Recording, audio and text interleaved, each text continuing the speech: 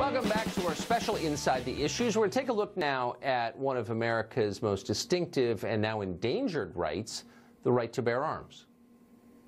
America is an unusual country in a number of ways, but one way that this country stands out is our much stronger firearms culture. America has more firearms than people, probably more civilian owned guns per capita than any other country in the world. And unlike almost any other country, gun ownership is constitutionally protected here.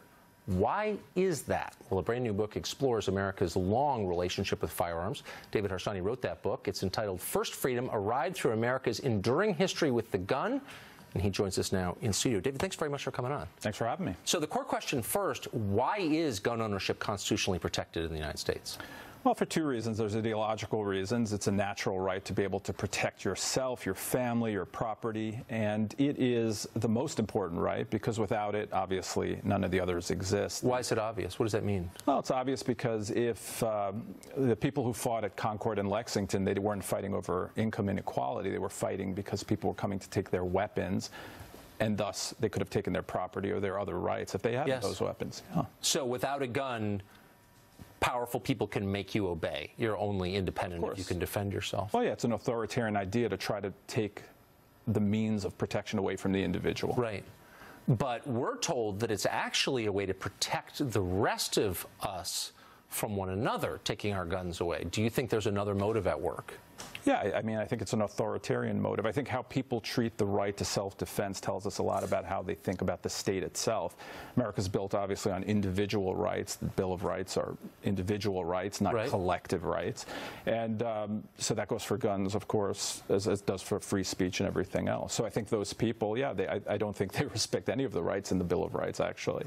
Huh. So the instinct to take people's guns away is much bigger, you're arguing, than just the desire to protect Well, from law-abiding citizens, Right. obviously, you know, there are people who break those laws, and most of the most of the laws that come in, you know, that are that are being pushed in California and elsewhere right now, and nationally when Obama was president, is a collective punishment for the people who already break laws that exist. They don't really bring down gun crime in any way. So the implication of a lot of the arguments you hear is that America has more mass shootings because there are more guns. Do we have more guns per capita than we once had?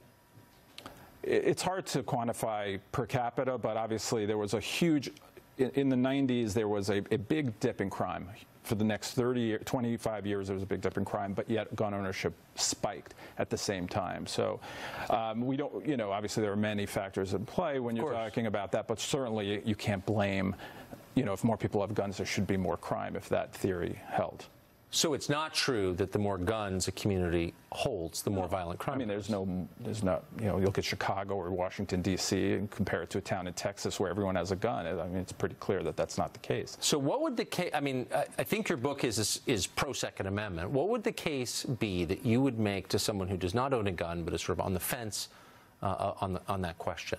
Well, I think there's t- the book's about the culture of guns, which is more than just an ideological question. It's embedded in the culture of America, in in the way we do commerce, i- in the way we we tame the West, and many other ways. It was part of the DNA of our, Right. our, our nation. So that's the first thing, and I think that's why many Americans feel about guns the way they do, which is very unique compared to any other nation. Um, but to, to change someone's mind, I guess you have to, you know, about guns themselves and ownership of guns, you have to explain to them how guns help them protect their property and their family Right. and their rights.